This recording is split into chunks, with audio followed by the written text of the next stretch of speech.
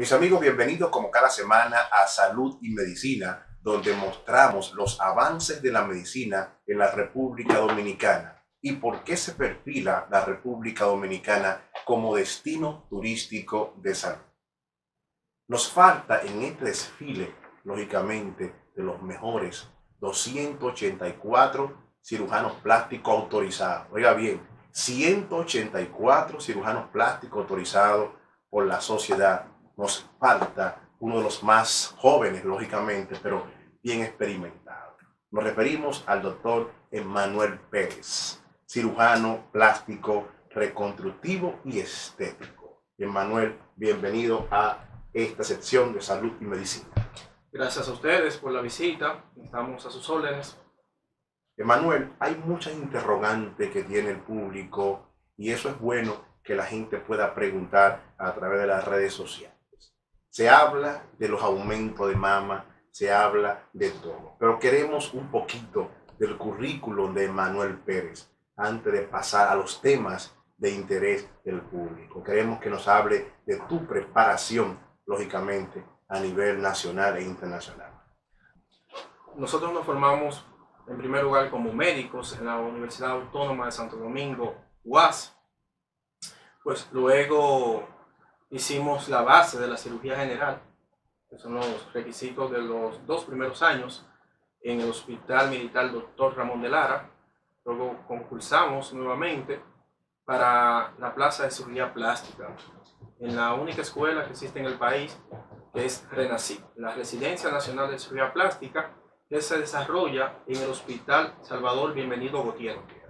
Sí, allí nos formamos como cirujanos plásticos y estamos pues al servicio de, de, nuestro, de nuestro país, de nuestra gente, para darle lo mejor de nosotros, de manera tal que los pacientes encuentren en nosotros informaciones veraz, saberle que cuando se puede, o sea, someterse a un procedimiento quirúrgico, es cuando usted se beneficia de este. O sea, no siempre cuando uno quiere pues eh, se puede llevar a cirugía a un paciente.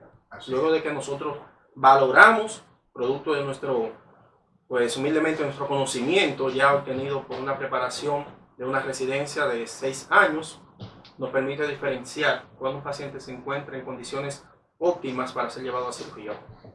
Doctor, el aumento de las mamas, eh, muchas mujeres están en esa línea pero también hay reducción de mama por salud.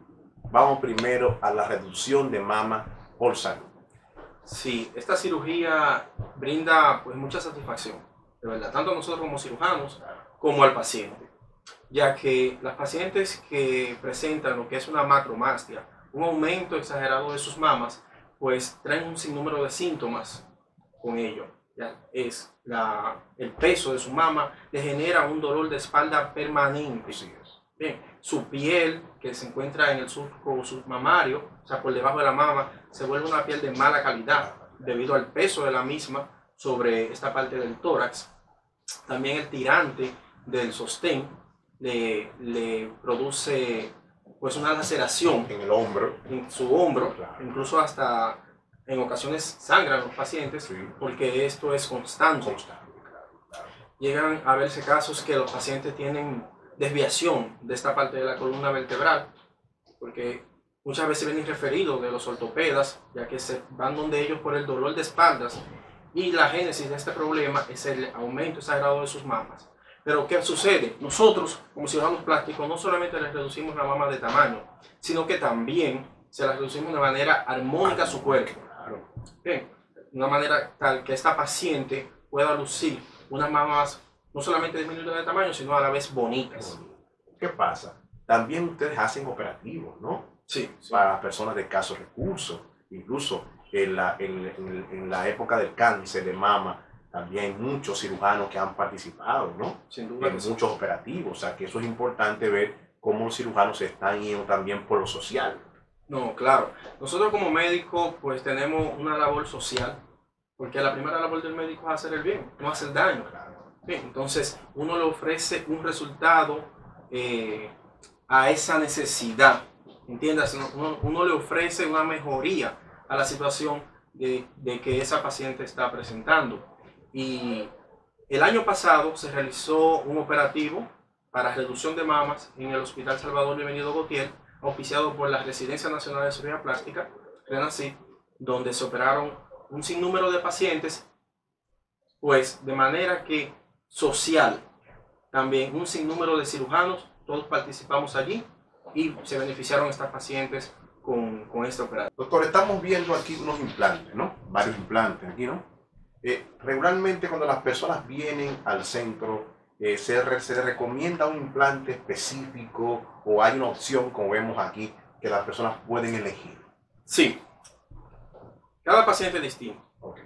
Necesita, por ende, una solución distinta.